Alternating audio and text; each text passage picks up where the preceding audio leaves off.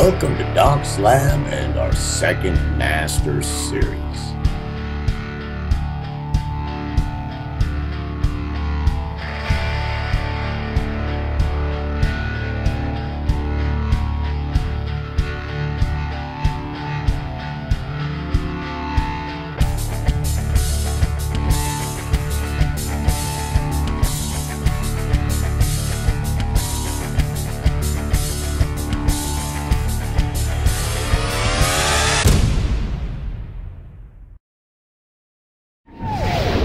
Welcome to Doc's Lab and our second Master Series. I do believe this is the 104th video in our second Master Series, the 53rd video on basic processors, the 16th video on sculpting processors, the 6th video in noise, and this is the final video dealing with noise. We're going to address a couple topics to try to make sure that you're able to get done what you need to do as far as noise. Remember, the biggest thing is going to be a lot of experimentation on your part.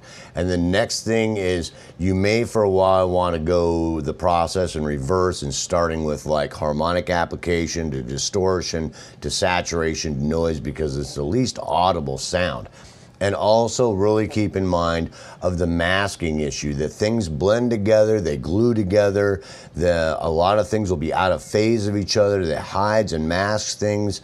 And really keep that in mind as you're working it but every one of these aspects including noise is going to change the timbre of what is happening and sometimes in drastic ways and sometimes you can add a lot of noise and get away with it and have it still come out sounding really good.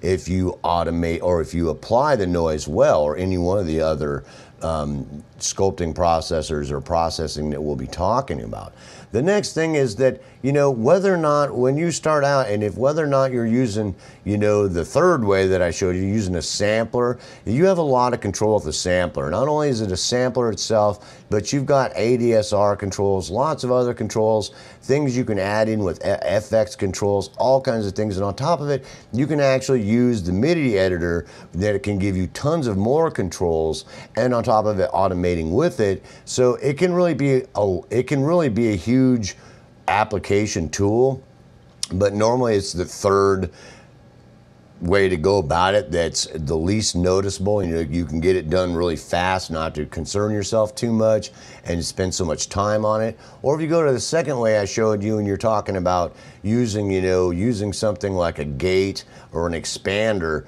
that, you know, just take your time in working the envelope of sound as you're putting in there. Be real careful about how much you're putting in there that's affecting the timbre, but really work on being able to control the envelope best you can with those tools. And if you go to like automation, like we talked about, we're going to automation.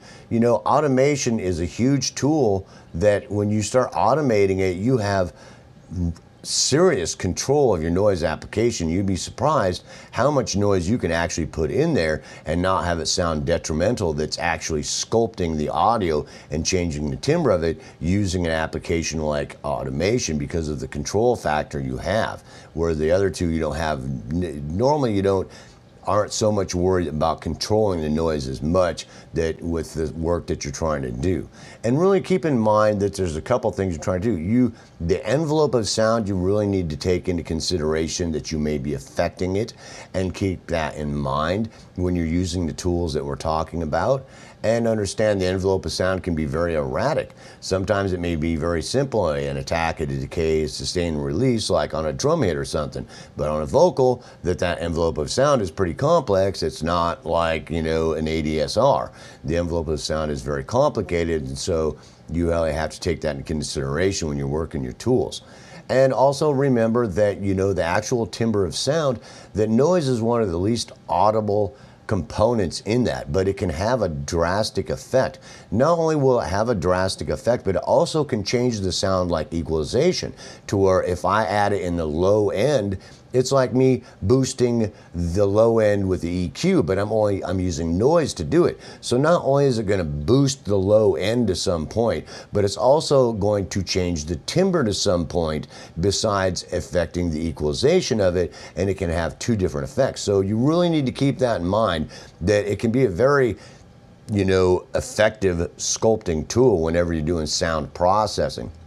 And like I said, sometimes you can add quite a bit more than you would think you could add. That if you just add a raw noise file, that you just can't add much. It's real obvious. But with your automation, your other tools, you might be surprised how much you can actually add and change the timbre and affect the timbre. You know, and just really keep that in mind. And besides that, you know, when we're talking about this, be real careful of adding noise you don't need. High pass and low pass filter it and so that you're not adding noise that you don't need. Does that make sense? Because it's like room noise and things like that, you know, noise from your fish tank, the air conditioner, outside noise, da da da. A lot of times that can be full spectrum and it's not just helping, you know, it's not, you know, it's a it's seen as a bad thing a lot of times because it's not being used as a sculpting tool, it's being it's affecting everywhere in the spectrum that you don't want it to. So learn to control your noise, where you're applying it, how you're applying it, how you don't don't apply it where you don't need it and things like that. You know, just as just like, just like with all the other processing tools when we're doing sound sculpting, but uh, seriously noise, because most audio engineers will tell you that no, I don't want noise in my production, bro. You know, unless you have a fifty thousand dollar analog desk, and then they're really happy with saturation.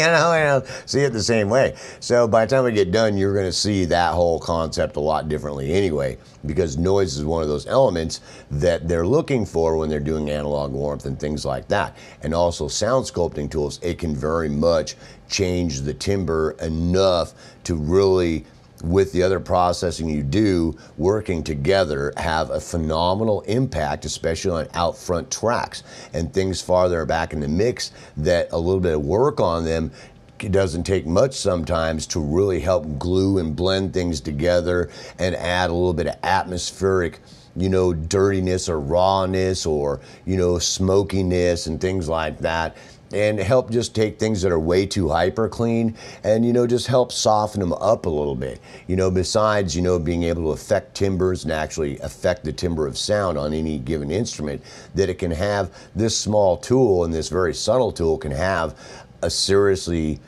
serious impact on your production once you learn to use it well, which is going to take a lot of practice, experimentation, and just utilizing it and then utilizing it in conjunction with the other tools we're talking about. So you have an understanding of how, what happens when you start working them all together, like, you know, putting a soup together, you know, because it's the same kind of thing. You're adding a little bit of oregano, a little bit of garlic, a little bit of basil, you know, and a little bit of, you know, Parmesan cheese, and at just the right amounts in this soup. Yeah, dude, you know, and it's, it, it is like that, you know, so really keep that in mind. It's just not one tool by itself, it's a part of an arsenal that you're using together. And as you get better at understanding that that you'll use each one of them individually much better. So really keep that in mind. So I just wanted to make a short video as basically an end to the noise segment because with the first videos that were in this segment should give you a lot of insight about using any of these applications and processors and tools. And the short segment, we basically want to talk about applying it and then get you practicing it so that you can start making some captures, work on getting yourself some good captures, cleaning them up well, and then start applying this stuff to see what it's actually doing to the stuff you're working in in your studio with your headphones on and really being able to hear what's happening there and you know, affect it in different areas, an upper end and the lower end, you know, full spectrum on there, different types of noise, what different colors do, what happens when you mix different colors, what happens when you mix different colors in just certain bandwidths, when you're doing a vocal, you know, you just want the lower bandwidth or the mid range or the upper range, or, you know, it's up in the upper end to give it a little bit of more shining, you know, brassy sound, you know, that's, you know, you're not trying to get hiss, does that make sense? You're not trying to get low end rumble and mud, you're trying to actually you know, ex- you're trying to actually improve the sound in some way and really get used to using your critical listening and thinking, what would make this better?